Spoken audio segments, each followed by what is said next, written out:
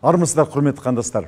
Осы қысқа видеода сіз бизнес планды қалай жазу керек екені жайлы толық мағлұмат ала аласыздар.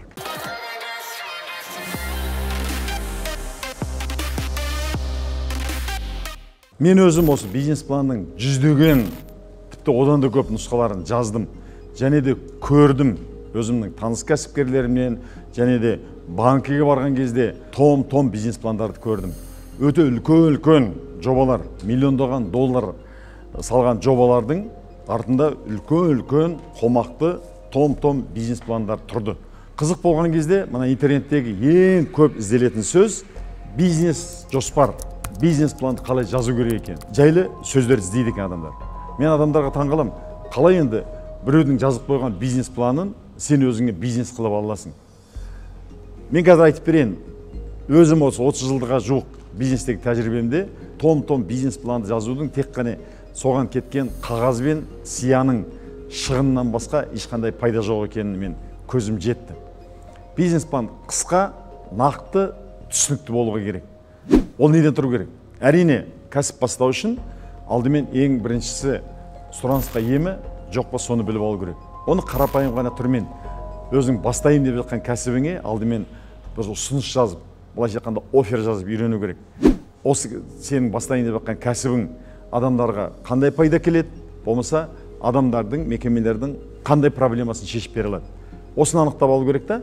Содан кейін міне мынандай проблемаңды шешіп беремін мынандай болмаса саған пайда келемін деп жарнама беру керек. Әрине ол үшін жақсы тақырып тақырыпша офер ұсыныс жазып үйрену керек.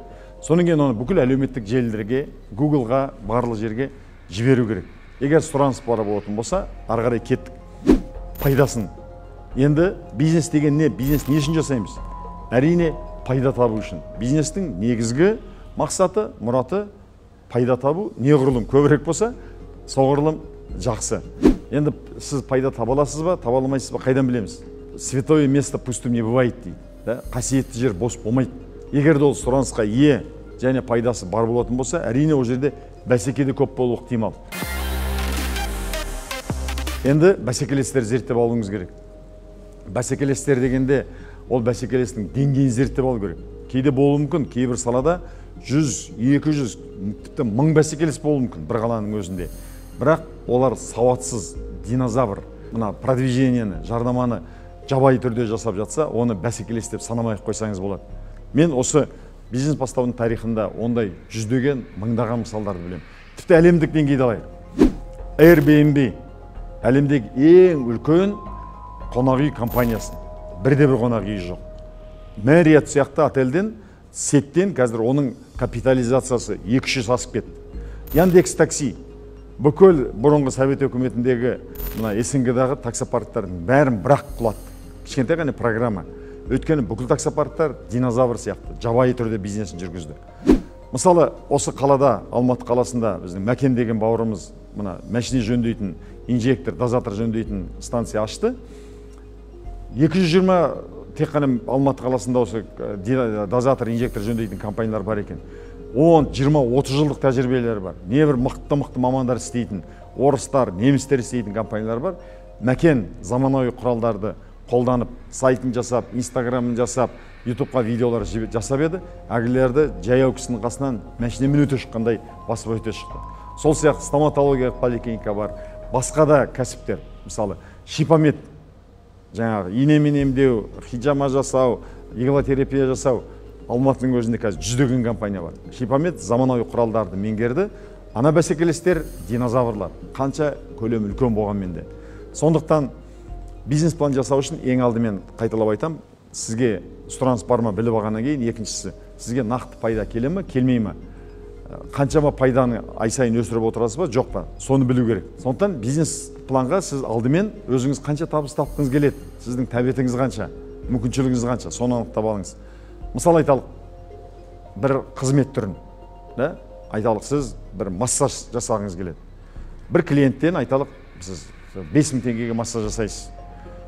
Жалғыз өзіңіз жасайтын болсаңыз ол бизнес емес. Ол өзіңді өзің жалдау ғана ол өспейтін де өшпейтін бизнес. Әрине кәсіпті сіз дөңгелетіп оны үлкен деңгейге жеткізу үшін қол астыңызда кемінде 5 10 15 мықты массажистер тәрбиелеп солардың ә, көмегімен табысыңызды көбейтуіңіз керек.